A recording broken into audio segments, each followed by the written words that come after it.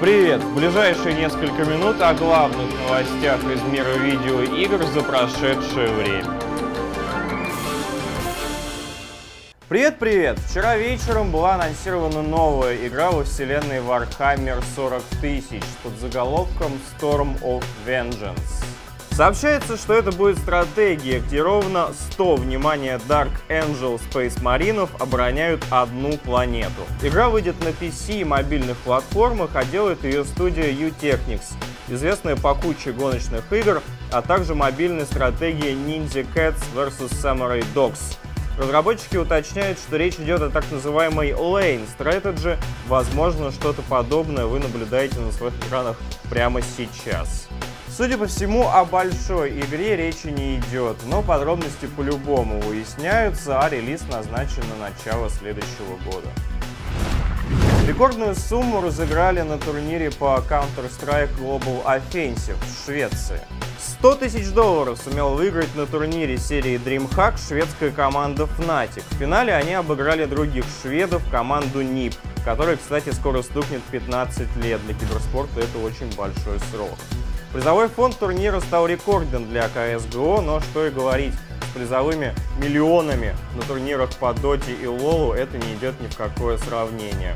Но в КС все же есть свой шик. Взять тех же НИП, которые в финале проиграли, зато это единственная киберспортивная команда, в честь которой назван бургер в шведском Макдональдсе.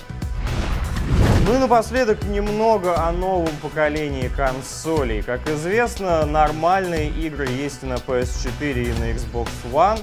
Особых шедевров пока не выходило, но еще есть третья категория игр. В нее входят худшие на данный момент игры нового поколения. Мы сверились с цифрами на сайте Metacritic, и вот что получилось.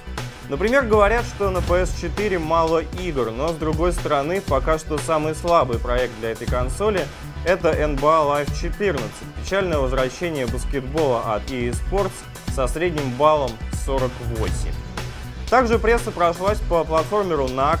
Портал Edge, например, поставил игре 3 балла из 10. Он так любит. А мы, кстати, не нашли в этой игре ничего преступного. Что до Xbox One? Не лучшие оценки получили игры Loco Cycle, та самая, что про парня, привязанного за ногу к спортивному мотоциклу, а также Crimson Dragon, еще одна попытка сделать симулятор дракона. Но все рекорды побила другая игра. Fighter Within имеет на метакритике средний балл 25. На эксклюзиве для Xbox One пресса поупражнялась в волю, написав больше 20 сугубо отрицательных рецензий. Известные любители пожестить Edge на этот раз решили не отсвечивать и поставили игре 2 балла, как и все остальные. А вот Еврогеймер пожалел и этого. По итогам рецензии с применением ненормативной лексики игре поставили кол, а также поставили на вид компании Ubisoft, мол, стыдно вообще такие игры издавать.